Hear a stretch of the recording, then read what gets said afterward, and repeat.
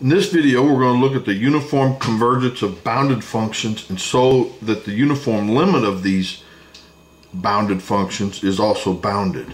A background video, um, I put out a video called Sequences of Functions, Pointwise and Uniform Convergence. Now for the theorem, suppose that we have a sequence of functions f of n that match from some set to the real numbers, this for every n, where d is a subset of r, let f be the uniform limit of the of a sequence of bounded functions f of n.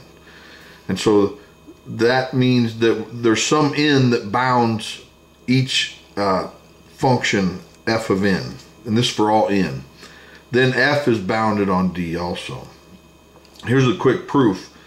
If let f of n be bounded by m, and this for all n, and then since uh, f of n, the sequence f of n converges uniformly to f on d.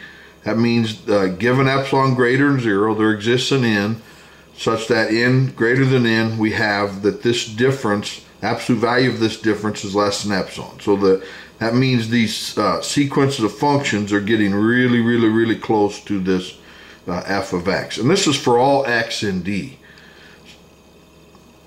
So if we look at f of x, and we add zero, add and subtract the same quantity, it doesn't change it, but the absolute value inequality or triangle inequality says that this is less than this.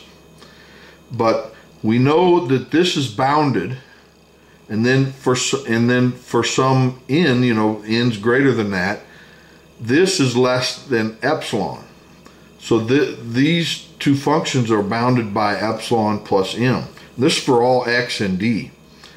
So if uh, the function f of x, the absolute value of f of x, is bounded by the maximum of the first capital N points, you know, f absolute value of f of 1 to f value of f of nx, and epsilon plus m.